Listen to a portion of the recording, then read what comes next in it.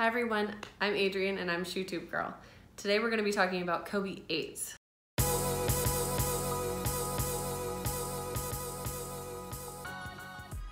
I was able to pick up this colorway from one of my husband's old coworkers and I was able to get it for only $30 so I am super excited about this colorway.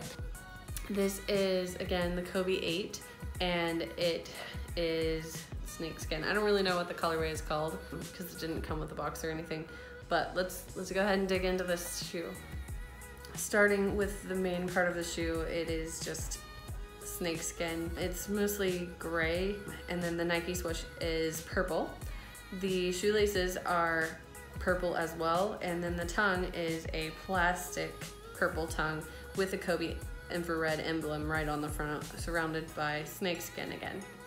The sole is gray, and then when you move around the front, it has a Kobe emblem on it again, right on the outside edge. And then the upper sole is purple with infrared speckles on it. Moving to the back, it has the Kobe signature on the heel cap, which is red.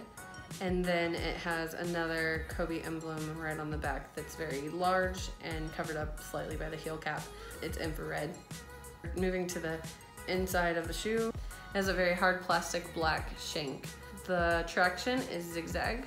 And then right on the heel, it has a Kobe emblem in infrared again. The insoles are mint green and they say be that one.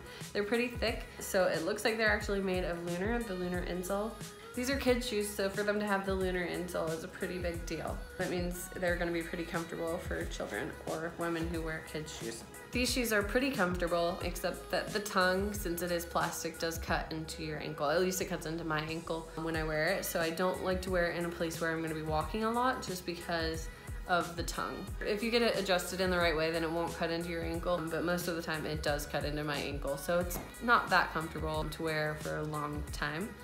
However, if I do wear it with jeans, it does seem to help just because I can put the tongue over the jeans a little bit to avoid the tongue cutting into my ankle. The tongue does look really cool though, so I can't be too mad at it because it does look cool, but it does kind of hurt to wear the shoes, but beauty is pain.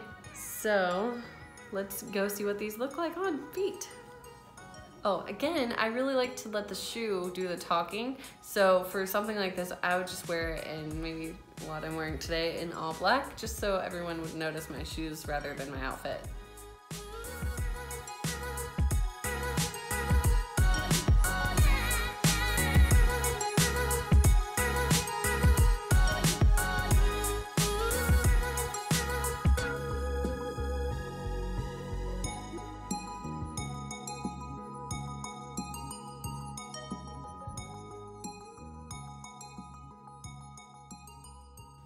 Thanks for watching my video. If you enjoyed it, please like and subscribe.